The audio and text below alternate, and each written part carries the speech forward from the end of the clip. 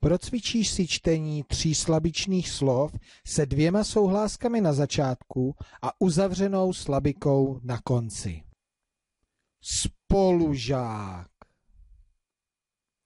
Mládenec. Mravenec. Pracovat.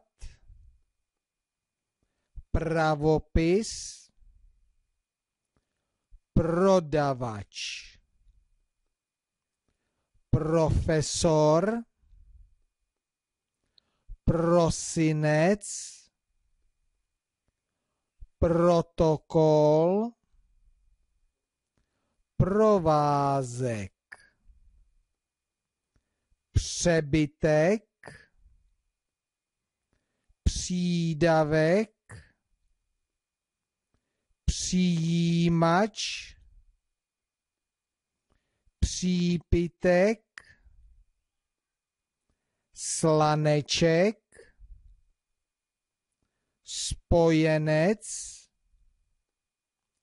stavitel, zločinec,